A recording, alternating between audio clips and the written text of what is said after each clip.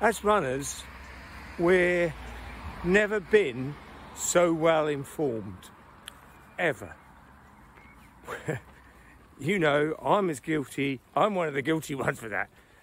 Got a YouTube channel, and if my channel didn't exist, there would be thousands of, thousands of others. There's thousands of books on running. Now, stop and think about that. Crazy, really, because running is putting one foot in front of the other. And there are whole industries that surround running. So, why is that? Well, people love running and they love getting faster and better. And especially in the specializations of like endurance running, when you start getting up half marathon, marathon, people want to know what the edge is. What gives them that edge over someone else, or in most cases, over themselves? How can they become a better runner? That's that's that, that's it. So now we're all informed. Are we all better runners? I think broadly, probably, possibly, lots of ways. But what it also does is it overwhelms people. It gets to the point where they're not sure, and, and, and what they do is they kind of consume more and more information. And I see this again and again and again where information is overload. And people just need to get out and run because a lot of the benefits of running come from, and I'm sorry to say it, from running. you know, most successful runners have run for a long time. The body doesn't understand pace, as I've mentioned on videos before. It understands effort. It doesn't understand at any level what you're doing. So, in an evolutionary point of view, if you're running fast, it thinks you're being chased. And if you get caught, then it's the end for the body and it's the end for the brain. So, if you don't get caught, it's sort of like, well, we're adapt uh, because we need to get faster. And if you're jogging along at a nice conversational pace, your body probably thinks you're out in the in the in the forest looking for food and then when, when you rest, your body's going, oh, it's time to rejuvenate. It doesn't know that you've got a half marathon next Wednesday, and it doesn't care. So, what am I saying here?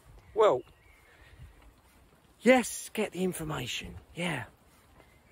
But then don't get overloaded with it. Don't, you know, because there is nothing new. There is nothing new. Shocking. There is no new thing. There are just perhaps different ways of arranging it. You know, that old joke from Eric Morecambe I'm playing all the right notes, but not particularly in the right order. you know, how you play those notes is the big thing. You know, to get a great tune out of your body. Now, this is why I've done my free 10 day marathon maximizer. It's for marathon and half marathon runners. And it's 10 days of taking that generic plan, that plan that you've been using, and let's be honest, probably very similar to lots of other plans.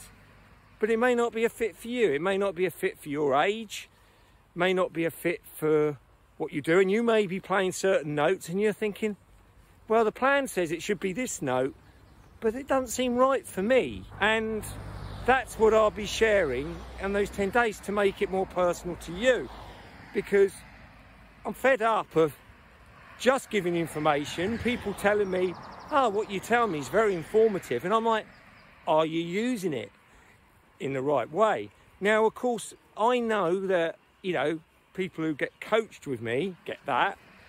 And this 10 days is a middle way. You know, I know that some of the runners that come on the 10 days will end up being coached by me. Brilliant. So that's a win for me, that's a win for them. But also the runners that maybe are those lone wolves or maybe can't afford coaching or whatever the reasons, they go off and they will have taken not only information but they would have taken action and they will be able to self-coach and utilize their plans in a much more effective way. So everybody wins long as they you know long as they do something. They just don't collect more information that just doesn't get used. And that's what frustrates the living you know what out of me.